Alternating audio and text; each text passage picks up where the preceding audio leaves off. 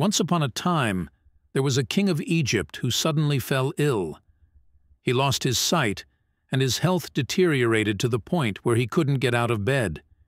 He gathered the wise men of the land, and they all agreed on the appropriate remedy. They must find the golden-headed fish and let the king taste its flesh. The king's only son, the prince, immediately set out to sea in search of this miraculous fish. For three months, the prince and his men pulled up one peculiar fish after another, but none of them had a golden head. On the last evening before they were to return home, on the hundredth day of searching, the prince happened to cast his net one last time. In his net, he caught the golden-headed fish. The prince lifted the fish into his arms to place it in a bowl of water, but when he looked into the fish's large, sad eyes, he could no longer carry out his mission. Instead, he spared the fish and let it dive back into the sea. So he returned home empty-handed, knowing well that his father would be angry with him but he had probably not expected just how angry he would be. The old king was furious and called for the royal executioner. Your head shall pay for this! Your head shall pay for this! he shouted. However, while this was happening, a servant rushed to the queen and informed her of the king's rage. The queen fetched her son, dressed him in ordinary clothes, filled his pockets with silver and gold, and then hurried to the port, putting her son on a ship bound for a distant island. Listen to me, my son, she said. One day your father will regret his decision and wish you were with him again. Then he will be grateful that I saved your life. One last piece of advice I will give you. Never hire a man who demands payment at the end of each month. The prince found this advice peculiar, but he knew his mother was an unusually wise woman, and therefore kept it in mind. After several weeks at sea, the ship reached an island covered with lush forests and colorful flowers. Villages of white houses dotted the landscape. The prince was immediately captivated by the island and bought a house to live in. He began searching for a suitable servant. Everyone who came to him declared that they wanted payment at the end of each month, but since the prince was determined to follow his mother's advice, he did not hire any of them. One day, a stranger from distant Arabia came to his house, seeking the position of a servant. When the prince asked about the man's desired salary, he replied, I do not want money. At the end of the year, you can see what my services have been worth, and then you can reward me as you see fit. The prince realized that the stranger was the kind of servant his mother had meant, and he hired him on the spot. On the backside of the lush island lay a desolate desert created by a monstrous creature that crawled out of the sea every day, burning the land with its foul breath. Additionally, the beast devoured all livestock and crops within its reach. The governor ruling the island sent soldiers there every day to fend off the monster, but for some reason they could never stay awake when the creature appeared. In the end, the governor promised his beautiful daughter to anyone who could rid them of the monster. As soon as the prince's servant heard about this, he went to the governor's palace. If my master kills the monster, how do you plan to reward him? he asked the governor. He will have my daughter and anything else he may desire that is within my power to give, replied the governor. Then let us draw up a contract on this, demanded the servant, and so it was done. That night the prince's servant sneaked alone to the deserted shore on the island's backside.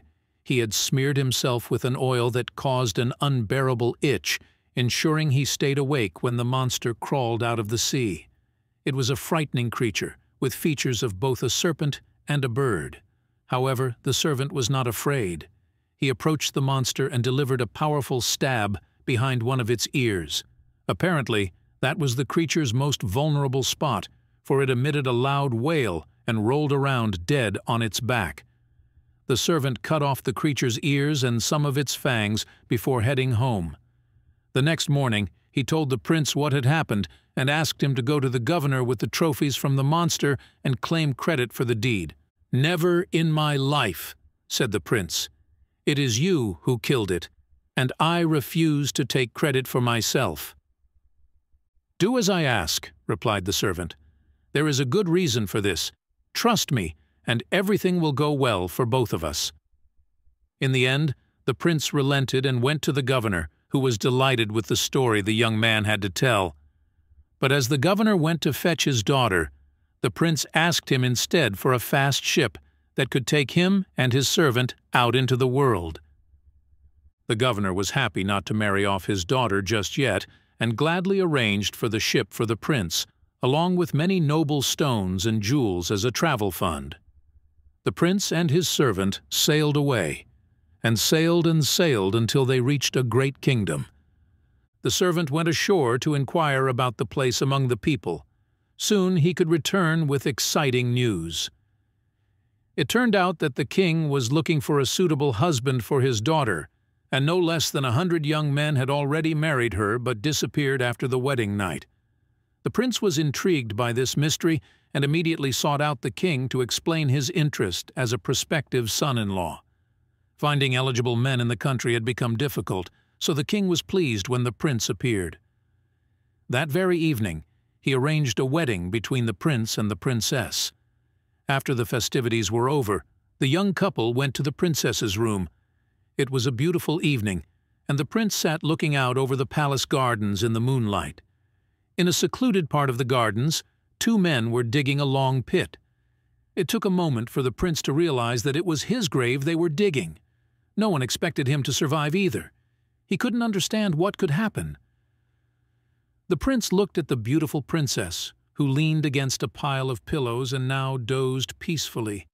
But suddenly she opened her mouth, and a black poisonous snake slithered out.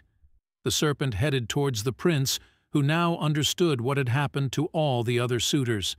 Just then, the door burst open, and the prince's servant rushed in. With his dagger, he cut off the snake's head, and as the creature died, the evil enchantment was lifted. Now, the prince settled down with his wife, and they lived in the grand palace. But one day, a messenger arrived with a letter from Egypt. It was the prince's mother, informing him that his father had passed away but before his death, he had named the prince as the heir to the entire kingdom. After so long on the run, the prince couldn't think of anything better than returning home. Thus, he took his swift ship and traveled to Egypt with the princess and his servant.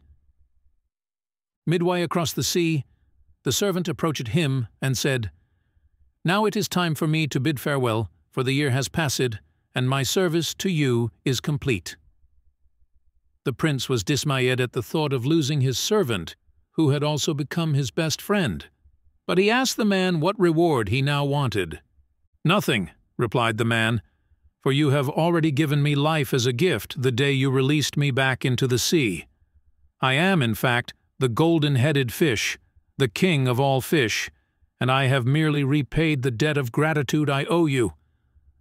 With these words, the servant jumped overboard, but before he reached the water, his skin became scaly, and his arms and legs turned into fins. Like a glint of gold in the water, the golden-headed fish shimmered before disappearing into the depths of the sea. In the end, the prince, now a king, ruled over his kingdom with wisdom and compassion. The princess, freed from the curse, became his devoted queen. The lessons of gratitude, sacrifice, and the enduring power of kindness were engraved in the hearts of all who heard this enchanting tale. And so, the story of the prince, the golden-headed fish, and the loyal servant became a timeless legend, reminding generations that sometimes the most magical moments arise from unexpected friendships and selfless acts of kindness.